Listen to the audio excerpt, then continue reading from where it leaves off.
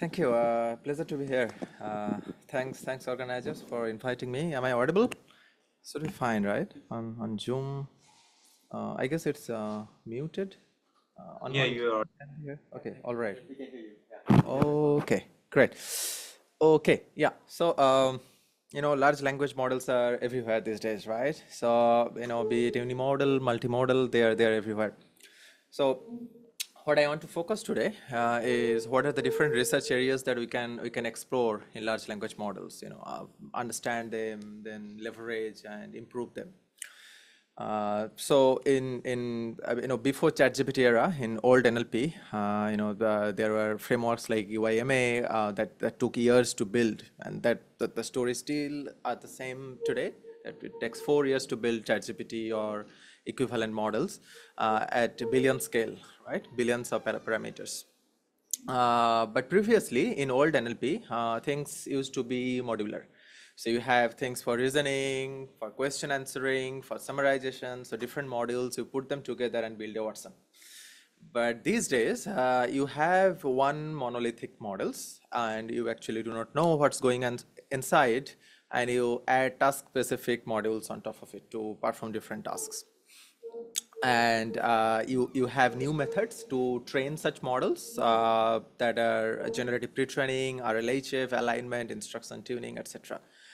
And the utility are great. So they can do now most of the natural language interactions, uh, complicated tasks like poetry generation, translation, software, and many many other tasks.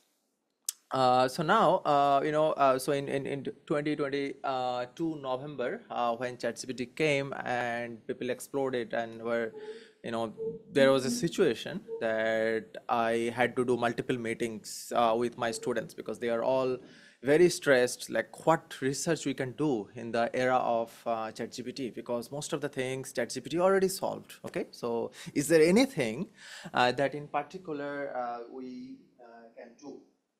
So, uh, so, so, so to, you know, uh, we, we, we, we took a little bit of time.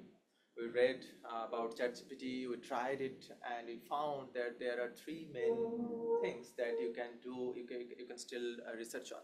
So first is understanding LLMs. That's, you know, how LLMs do what they do and what LLMs cannot do. Okay, understanding that. Then leverage LLMs, uh, you know, how you can leverage LLMs for different purposes. So, for example, you want to do relation extraction. Can we use the power of GPT-4 you know, or you know Llama 3, etc., to to to enhance in in other tasks? Uh, also improving LLMs. Uh, for example, you fix hallucination problem. You try to make them smaller improve their performance, make them multimodal, etc. So there are, you know, these are only few examples of how, you know, we, we can do research in LLMs. But these three main categories are, you will find that most of the research in LLMs these days are focusing on. Okay. So uh, the first one is understanding LLM. So I'll, I'll explain, and in, in this case, I will mostly focus on uh, our our recent work on, know, through controlled perturbations. So we will we will use some examples. This is a this is a work of one of my students, uh, Fei. Uh, so what he did, he used an existing data where uh, GPT-4 excelled like 100% results. But then he what he did is a very interesting thing. Uh, he created an ontology of skill sets. Um, for example, yeah. So he he used a skill set of you know ontology of skill sets. For example, to solve mathematics problems, what are the different elements that we must solve? Um, so uh, you know, so this is the title of the paper. Uh, we initially did it for only mathematical uh, uh, competency testing, but uh, later we also uh, test, you know, we, we also updated the paper with coding competencies. So we tested the robustness of LLMs and understand the skills of LLMs for mathematical and coding competencies and for for yeah using an ontology. Okay, so these are the research questions. So how robust is the capability of LLMs in terms of reasoning and understanding of uh, the problem solving process and under which conditions uh, they, uh, there are limitations in the reasoning. Okay, so uh, what we did, so this is the overall architecture. What we did, uh, we took GSM 8K, we sampled five questions from GSM 8K, which are very easy for LLMs to solve. So LLM achieves, GPT-4 achieves 100% performance on those five questions. Uh, Chat GPT, GPT 3.5 could achieve 80%, uh, means four out of five questions, they could solve it. Then what we did, we perturbed the questions using uh, GPT-4. So as you can see that every question we uh, changed um, the question um, uh, based on the perturbation. So for example, uh, this domain is variable uh, relationship or what if question. So this is the original question. John has three boxes. Each box is five inches by six inches by four inches, etc. And then what we did, we, we removed um, the variables with uh, some symbols, x and y. Then we asked the mo model to establish the, um, the relation among the variables. Okay, uh, so this way we uh, designed our ontology and perturbed uh, the input questions. Now, this is the perturbation ontology, an example of the perturbation ontology. So more is for mathematics oriented uh, analysis and core is for coding oriented analysis. So uh, for math, we chose uh, GSM 8K. For uh, code, we chose HumanEval. And these are different types of ontology dimensions. So variable relationship, step necessity. Like, is there a way to determine the total inner volume of all three boxes without calculating the inner volume for, of one box? So what it does is a very interesting thing. So suppose GSM, you know, LLM already performed nice, you know, very accurately on the existing question, 100% accuracy. But if you tweak the question a bit, can it still perform, do, do the reasoning? Because if it has a holistic reasoning ability, it should do well even if you change the question slightly because human can do such reasoning very easily, right? So uh, what you observed is pretty strange. Uh, we observed that, uh, you know, due to this perturbation, so we had perturbations in different uh, ontology structures like logic alteration, concept analysis, which is more fundamental questions. Logic alteration is just change the logic a bit. Uh, and, and then format change, uh, you, you, you, ask the question and come up, you know, ask the model to come up with the answer in a different format. So you notice that GPT-4's performance dropped from 100% to 78% for logic alteration. For concept analysis, where it is more difficult questions, the evolution of the question is more uh, difficult, more complex, uh, it uh, dropped from 100% to 64.62%. and all the other models suffered a lot. Okay, so this shows what are the skill sets the models are still lacking, although you, you, you, you notice uh, excellent performance on the original data set. That excellent performance might come from data contamination problem, right? So these models might have already seen GSM 8K and HumanEval, these data sets and uh, giving you excellent results. But uh, what we we, uh, we, we notice here so when you when you do such controlled perturbations using an ontology like you define the skills using an ontology like here question simplification reasoning adjustment uh, computer adjustment symbol manipulation etc so these are different skill sets. You identify what the models really lack okay and you encounter you, you, encounter those you, you target those limitations and try to augment your data set try to improve your data set retrain the models and improve their overall skill in those domains. Okay uh, okay so I, I already covered this. Now the second uh, work uh, about understanding um, the skills and reasoning abilities of LLMs so this is a very new tasks uh, that we recently have done. So thanks to my student uh, Chia Yew Ken and Vernon, they have came up with this excellent idea of visual abstract reasoning. Okay, so what it does, so if you can see on the upper corner, uh, right upper corner, uh, this is the question. What is the missing color of the part denoted with a question mark? Okay, so this is a very simple pattern, right? So what we did, we, uh, we, we, give these questions uh, to GPT-4. and we tried to understand whether uh, GPT-4 can, uh, can, can perfectly give you the answer, okay? And of course, using chain of thought and other kind of prompting techniques. Uh, so, uh, you know, so in, in, in Puzzle VQA, uh, we, we, how did we construct the data set? We had a layout, uh, we, we, we had a layout like that, and then we had pattern and objects. So what we then did, we created demonstrations based on this and along with a query. Okay, so there are three reasoning steps in this uh, multimodal reasoning steps in this process. One is the visual perception. So the model has to understand how many parts are there in the image, uh, you know, the colors of the image, and then uh, put them together and come up with an inductive reasoning uh, that what is really happening. Okay, so you observe something and based on that you come up with your induction and then from there it come up with the conclu conclusion which is the part of the deductive reasoning okay so this is uh, a very simple data set. Uh, you know the the challenge the it's, it's, it's, it, it, does not look uh, look like a challenging data set. But the next uh, slide uh, if i if i if i show you the results you would be surprised. So human baseline, uh, when we asked some graduate students and grade 6, grade 7 students, they all performed greater than 90% accuracy on this dataset.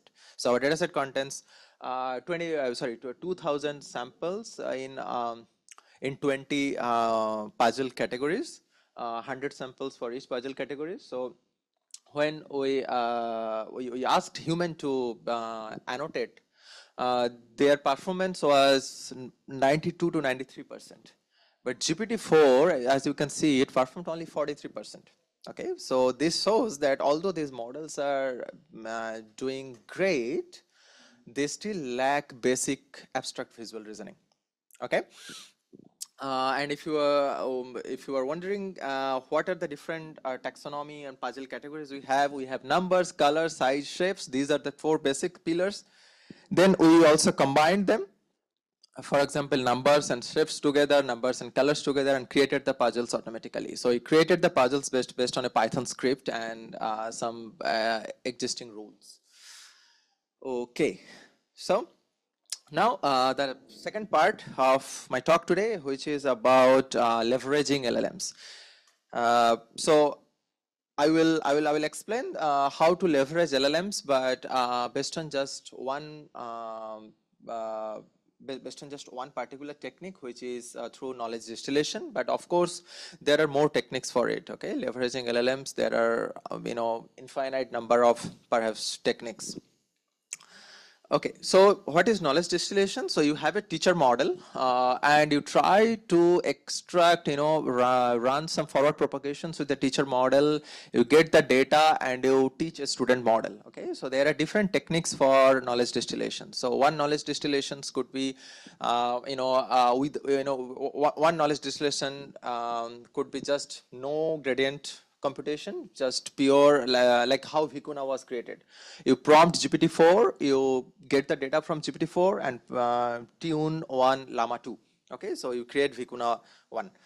Uh, that is uh, one of the most popular ways when it comes to LLMs, but there are other knowledge distillation as well where the gradient computation is involved. Okay, so you, you, you do some tuning based on some loss. Okay, so uh, we, uh, we, we published one work in I guess ACL 2022 uh, uh, relation prompt. I think it was ACL 2022 findings relation prompt, leveraging prompts to generate synthetic data for zero shot relationship extractions by my student uh, uh, Ken and uh, what we did so uh, we introduced a new task of zero shot relation triplet extraction. So um, you know this task means uh, if i if i give you a sentence so it's a sentence level task. If i give you a sentence um, you know so we have a head uh, which is nicholas tyndall and a tail uh, and we establish relation between uh, them. Okay? So the task is to extract both the head tail and the relation Okay, this is a very complicated task. You know, there is there are no data sets available to solve this task. So uh, we, we propose this task and without any manual effort, we try to rely on GPT-2's ability to, ex, uh, you know, you know to, uh, to construct a data set that can help us solve this task. through knowledge distillation. Okay, so the framework, the framework is very simple. So what we did, we created relation prompt where you can extra, you can give the relation uh, types, military rank, architect, etc., and it will generate a sentence with the relation and the head and tail entities denoted by the blue and orange colors. Okay, so how is it done? Uh, so we had a relation generator where uh, which we use GPT-2. So given an existing training data sets, what we did, we um, you know we we prompt uh, uh we, we, we, we give a template to GPT-2 where we mention the relation uh, label, which is military rank, and GPT-2 has to generate a particular uh, sentence containing the triplet okay? So given the relation gpt uh, to generate the context okay in this particular template now we can resort to our existing uh, data sets that are available to train this gpt-2 to augment a data set in the following format then once we have the augmented data set, what we did, we trained a relation extractor, which is a BART model, it's a sequence to sequence model. What we uh, did, we, we gave it the context, uh, the generated output by GPT-2, and we asked it to reverse the process. Okay, I, we ask it to generate the head entity, tail entity, and relation.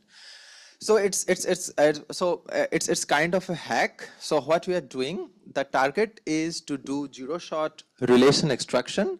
But for zero shot relation extraction, we don't have enough data sets because there are number of unseen relations. We are focusing on GPT-2 to generate data set for those unseen relations. Once we generate this data set, we can train a smaller model to uh, to to extract the relation triplets. Okay, so uh, here is the overall algorithm. So what is happening here? So we have a data set, we have a trained data set and test data set. The labels of trained data set and test data sets are null, is a null set. So we are uh, fine tuning uh, the relation generator, which is GPT-2. And um, once we fine tune, uh, so, so, so fine tune both the GPT-2 and BART. So this is the pre-training, uh, this is the initial stage. Then we prompt GPT for, for the prompt GPT-2, the fine-tuned GPT-2, to generate synthetic data for the unseen labels, you know, denoted by YU. Once we have that, once we generate the synthetic data, we can train the extractor, uh, our BART model on this uh, synthetic data. This will be our final model that we will use for the zero-shot triplet extractions. So, uh, you know, the results that we found, uh, you know, still not excellent, but of course better than the baselines. Uh, as you can see that this is relation triplet extraction is a very difficult problem. So if, uh, you know, any of you in the audience are doing PhD, this is something, this is a research topic that you can focus on. So it's still very challenging to do. Okay, so uh, there are follow-up works uh, of relation triplets. Uh, for example, uh, you know, you will, will, you will find uh, papers from uh, Tom Mitchell's group on zero-shot triplet extractions by template infilling, which have led later kind of improved relation prompt, make it better, and outperformed relation prompt by 5 to 15 percent. Okay, so uh, recently we did a follow-up of work of uh, document level relation triplet extraction. So the previous work that I have shown you is um, uh, sentence level relation triplet extractions, uh, which is uh, much more simpler. But when we talk about document level relation extractions, for example, uh, you know, we give you a text and ask you to extract all the knowledge triplets from the text and form a knowledge graph. So this is ultimately this technique can be used in a, to, to curate a knowledge graph, right? So that is a, that is even uh, a much more difficult problem uh, to solve. Uh, but thanks to my student who is also in this audience, Sunchi, uh, she developed an approach for document level uh, relation triplet extractions, which she will present in uh, dub. I think it's day after tomorrow is her presentation. So if you are interested, do attend her talk. So uh, what we did there, we created a new prompting technique called chain of retrieval for data generations. So I would not go through all the seven steps that uh, say remarkably uh, came up with, but this is pretty excellent. So this can give you a pretty good data. So you, you progressively prompt uh, GPT-4 uh, to come up with the data given some unseen labels. So the unseen relation type, for example, screenwriter, you prompt GPT-4 progressively, step by step, and ultimately you can have a very nice data set if you, if you, if you follow this process. Uh, so what she did, uh, she applied her chain of retrievals, she got the synth synthetic triplets, and now she had synthetic triplets for multiple documents. And a lot of these documents will have uh, you know commonality in the uh, you know trip uh, relation type and the tail and head. So based on that information, she prune uh, the triplets and based on this final data, she trained a llama using a LoRa, okay, PFT technique. And this was our final model. And the results are again, not so excellent, but much better than ChatGPT or other baseline models, okay? So again, this shows that why document level relation extraction is such a difficult problem to tackle. Okay, so uh, now uh, we also uh, tried to uh, solve other problems. I think I'm, I'm, running slightly late. Is that fine? I'll take 10 more minutes. Okay, thanks.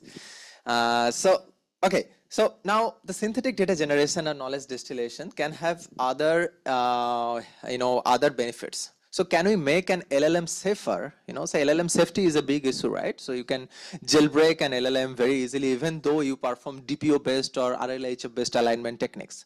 So how can we make LLM safer? Okay, so we recently uh, have um, have, have, have done some experiments. So what we did, uh, we jailbroke uh, ChatGPT. Uh, back then it was GPT 3.5. We jailbroke it using chain of utterances prompt. So this is a very important work by my student Rishav. Um, so uh, what what he did, he uh, he jailbroke ChatGPT uh, and extracted a lot of harmful data. Okay, lots of harmful data. Then what he did, he proposed an alignment technique to align the smaller model, for example, Llama 2. Okay, so what he did, he extracted the red data, means the harmful data, then he performed gradient descent on the helpful data, which are not harmful. Okay, and gradient ascent on the harmful data. So you have a mixture of blue and red conversations, which blue means the harmless data and helpful data, Red data means harmful data, but they are also helpful because helpful to your queries. Okay. So basically you have harmless and harmful data. So what he did on the harmless data, he did gradient descent, of course, but on the harmful data, he did gradient ascent. So which is a type of model unlearning. Okay, so you try to unlearn the information or the harmful information. So delete those knowledge from the uh, model's parameter space. So this, uh, this alignment technique gave him this model we called Starling and Starling achieved decent results uh, uh, post uh, the safety alignment. Uh, as you can see, the truthful QA scores um, you know, uh, improved to 49.60 from 48.40, 48.85 this is a Llama 7B backbone and uh, you know the average score uh, of the problem solving MMLU and BBH also stayed almost the same. So there is no uh, catastrophic forgetting as such. Okay so uh, this is another uh, work by my student Deepanway uh, who who created Tango and the knowledge distillation and synthetic data generation played a very important role in this. So what he did, it's a very simple network. So he had a he has a diffusion model uh, and he prompted uh, the diffusion model with a textual prompt encoded by instruction tuned language model FLAN-T5's encoder.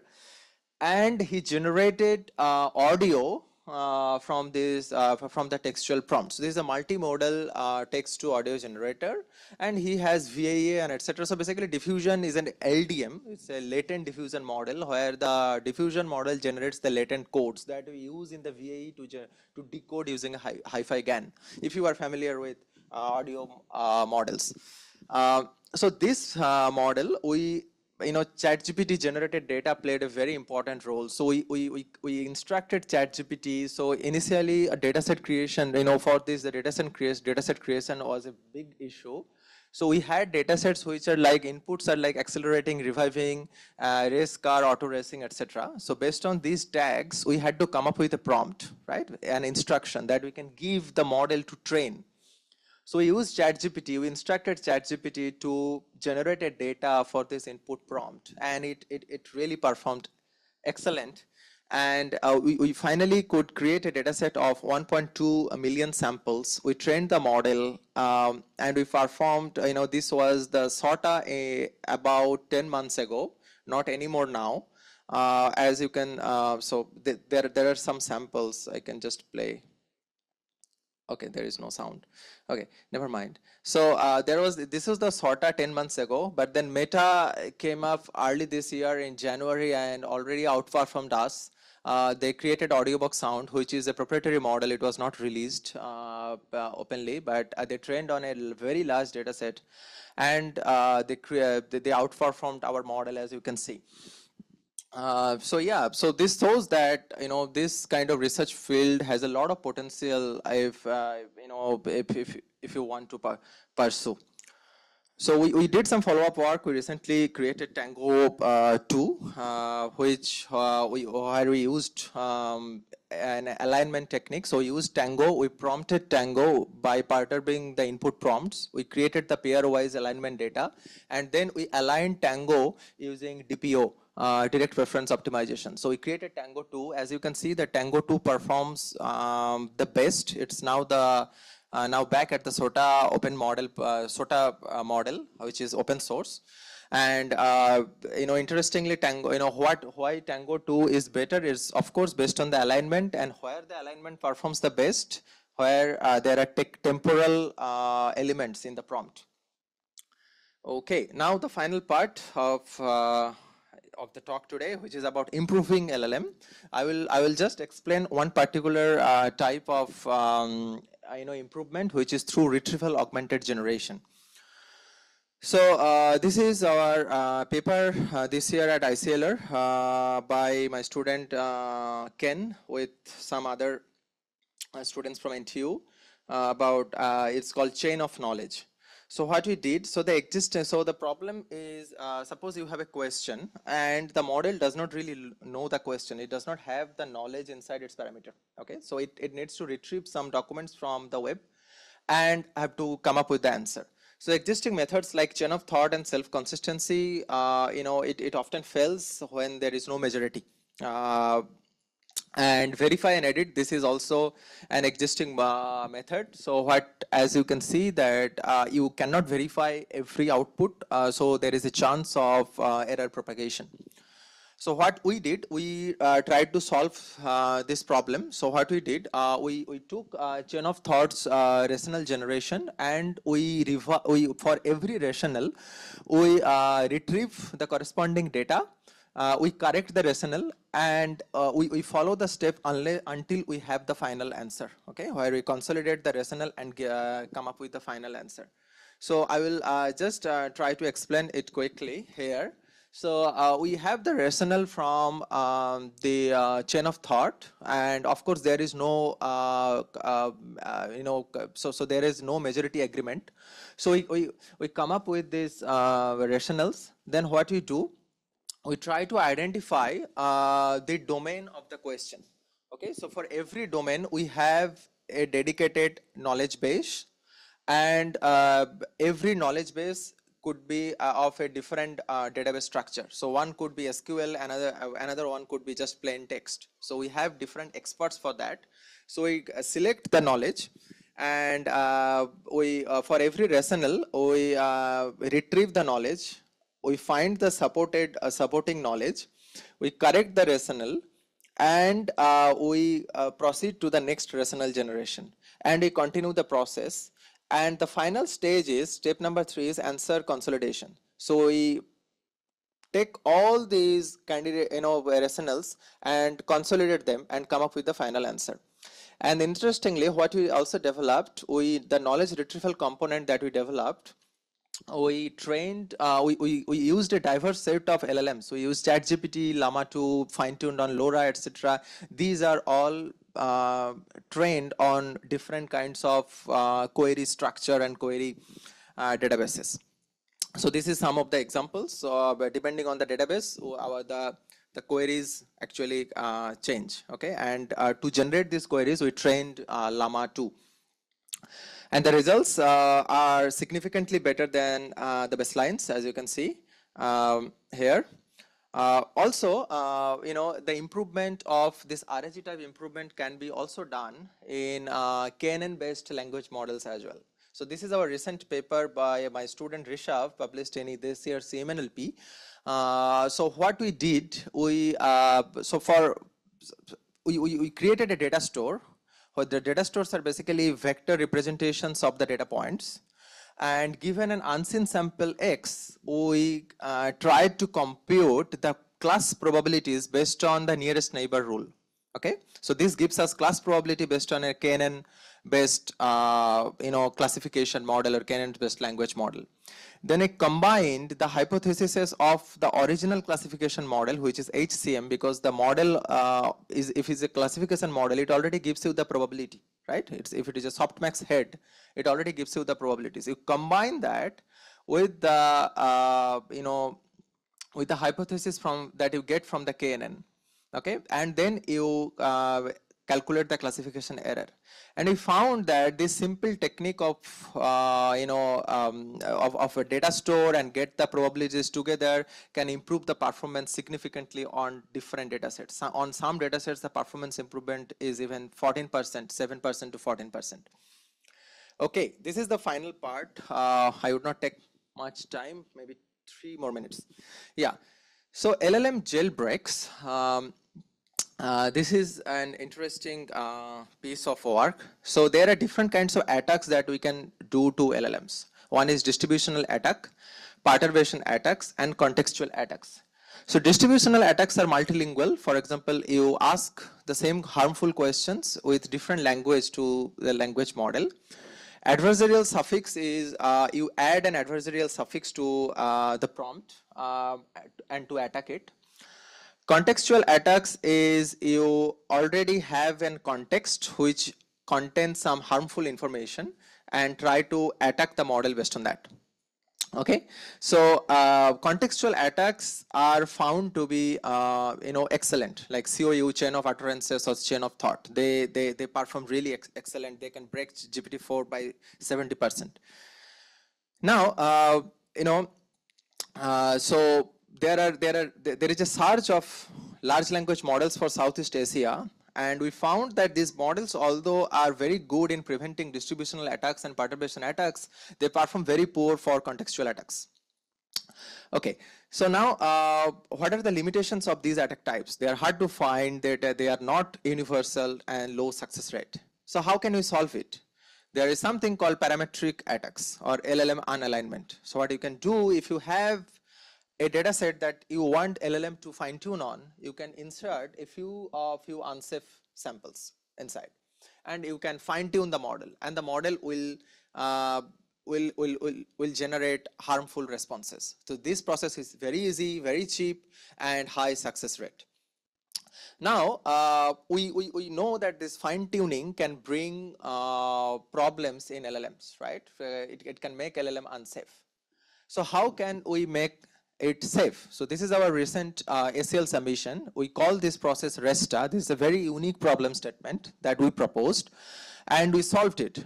So it has been seen that when you use, um, uh, when you want to fine tune a model, uh, for some particular task, the model becomes very unsafe. Okay, so how do we solve it? So the idea is to compute. So what RESTA does, RESTA does task arithmetic uh, to compute the safe, to, to, to find the safe and unsafe dimension. Okay, so safety vector and unsafety vector. And it add or subtract from the base LLM, which is unsafe after fine tuning. So we first fine tune using SFT. So the models become unsafe here, the models become unsafe. Then we perform RESTA, which does task arithmetic based on subtracting the unsafety vector from this unsafe model. to make it safe. And as you can see in the results that after SFT, the models, the general attack success rate was 33.57%. After you do RESTA, you know, uh, uh, then the success, attack success, success rate drops to 11.15%. For the full fine tuning, it drops to 1.82%. So that means RESTA is highly effective. It's a new parameter, it's a new gradient free alignment technique that you do post fine tuning. That's it. So this is our lab, Declare Lab. Uh, if anyone in the audience wants to learn more about the activities of our lab, do reach out. Thank you very much.